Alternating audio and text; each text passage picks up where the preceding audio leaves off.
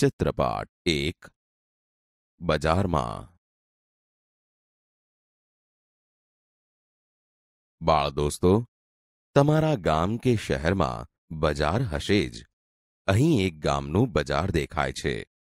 કહો જોઈએ, બજારમાં શું શું હોય છે?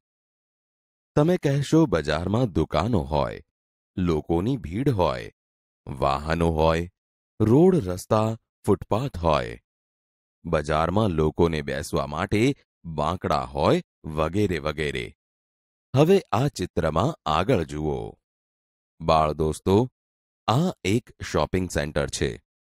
અહીં એક જ મોટી બિલ્ડિંગમાં જુદી જુદી વસ્તુઓની દુકાનો છે. અહીં સાડી અને ડ્રેસ મટીરિયલ્સની દુકાન, ઘરેણાંની દુકાન, રમકડાની દુકાન, મોબાઈલ ફોનની દુકાન અને દવાખાનું પણ છે. બાળ દોસ્તો, દરેક દુકાનના બોર્ડ જુઓ. અહીં સાડીની દુકાનનું બોર્ડ છે. ઐશ્વર્યા સાડી સેન્ટર. બોર્ડમાં નીચે લખ્યું છે, તમને આધુનિક સજાવટમાં અમે જાળવીશું. પધારો પધારો. પચાસ ટકા વળતર. બાળ દોસ્તો, આ ઘરેણાની દુકાન એટલે કે સોનીની દુકાન છે. અરે, આ વાક્ય તો વાંચો. કેટલું સુંદર છે. અમે ઘરેણા નહીં, સંબંધોને પણ ઘડીએ છીએ. બાળ દોસ્તો, આ શોપિંગ સેન્ટરમાં બીજી ઘણી દુકાનો છે. મોબાઈલની દુકાન, ઝેરોક્ષ સેન્ટર, દવાખાનું, કરિયાણાની દુકાન વગેરે વગેરે. બાળ દોસ્તો, બજારમાં તમે વિવિધ દુકાનો જોઈ હશે. આ ઉપરાંત બજારમાં હવે પૈસા મૂકવા બેંક, પૈસા ઉપાડવા એટીએમ ચાલવા માટે ફૂટપાથ અને વાહન મૂકવા માટે પાર્કિંગની વ્યવસ્થા હોય છે. લોકોની સુવિધા માટે શૌચાલય, પોલીસ વગેરે પણ બજારમાં હોય છે. કેટલાક ગામના બજારોમાં તો બજારની શોભા વધારવા માટે સુંદર મજાના ફુવારા કે બરાબર ચોકમાં પૂતળા પણ મૂકવામાં આવે છે અને રક્ષણ માટે સીસીટીવી કેમેરા પણ મૂકવામાં આવે છે. બાળ દોસ્તો અહીં જુઓ. આ પાણીપુરીની લારીવાળો છે, જે રોડ ઉપર ઊભો રહી પોતાની લારીમાંથી પાણીપુરી વેચે છે. આ બરફના ગોળાવાળો ભાઈ પણ લારીમાં જ બરફના ગોળા વેચે છે. આ ફુગ્ગાવાળા ભાઈએ તો માત્ર હાથમાં એક લાકડી જ પકડી છે, જેમાં ફુગ્ગા બાંધેલા છે, તે વેચે છે.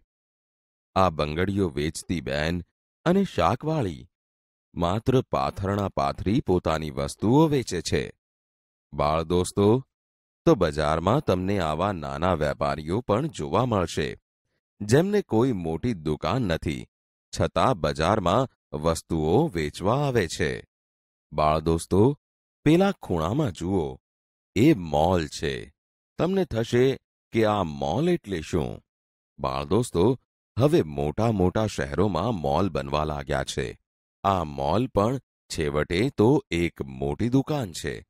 પણ આ દુકાનની વિશેષતા એ હોય છે કે એક જ દુકાનમાં તમને કપડાં, ચપ્પલ, કરિયાણું, જ્વેલરી, રમતના સાધનો, નાસ્તાની વસ્તુઓ, ફટાકડા, ઇલેક્ટ્રોનિક્સ વસ્તુઓ બધું જ મળે છે.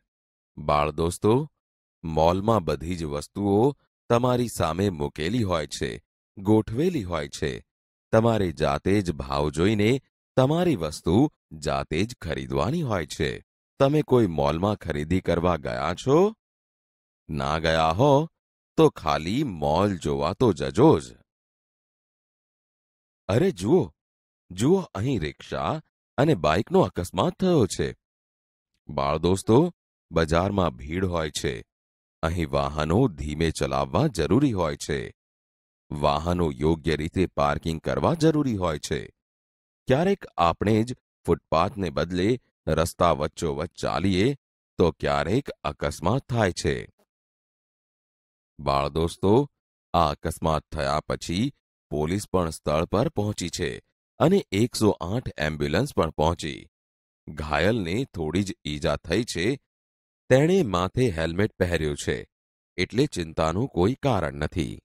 પરંતુ તમે બજારમાં જાઓ તો ધ્યાન રાખજો. બજારમાં આપણું અને આપણા સામાન કે વાહનનું ધ્યાન રાખવાની જવાબદારી આપણી જ હોય છે.